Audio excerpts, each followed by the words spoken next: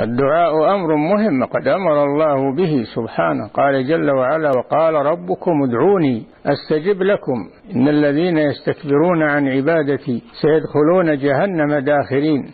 سماه دعاء وسماه عبادة وسماه دينا. فادعوا الله مخلصين له الدين. الدعاء أمره عظيم. وقد قال صلى الله عليه وسلم الدعاء هو العبادة أي أعظم أركان العبادة الدعاء. مثل قوله صلى الله عليه وسلم الحج عرفة يعني الوقوف بعرفة هو أعظم أركان الحج. كذلك الدعاء هو أعظم دعائم هذا الدين.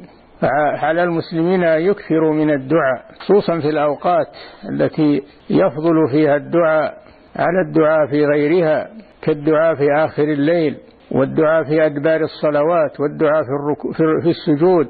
والدعاء آخر الليل حين يبقى ثلث الليل الآخر. والدعاء عموما في كل الأوقات له مجال عظيم وهو العبادة. كما قال صلى الله عليه وسلم الدعاء هو العبادة خصوصا في وقت الأزمات والشدائد. الله سبحانه وتعالى أمرنا بالدعاء ووعدنا أن يستجيب لنا وهو لا يخلف وعده.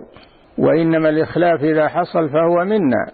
فعلينا أن نصلح ما بيننا وبين الله وأن نخلص الدعاء لنا وللمسلمين خصوصا في أوقات الأزمات.